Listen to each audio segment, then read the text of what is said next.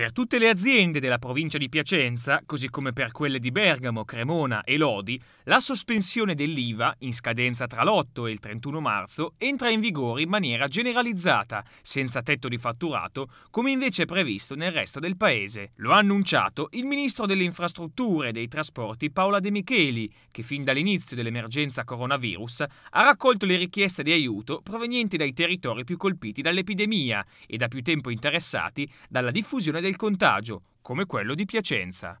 Abbiamo inserito una norma, spiega, che offre una boccata di ossigeno a tutto il sistema imprenditoriale delle province che si sono trovate più esposte e che hanno cominciato a pagare per prime anche le conseguenze economiche. Nel decreto ministeriale relativo al mese di marzo abbiamo stabilito che il pagamento dell'IVA sarà sospeso a tutte le imprese piacentine e non solo a quelle che fanno ricavi o compensi inferiori a 2 milioni. Si tratta di una delle azioni che insieme alle altre presenti nel decreto concorre a dare una prima risposta alle aziende del territorio. Come ribadito più volte dal governo, ad aprile arriveranno nuove misure più puntuali e articolate. Si tratta di una delle azioni, conclude la De Micheli, che insieme alle altre presenti nel decreto concorre a dare una prima risposta alle aziende del territorio.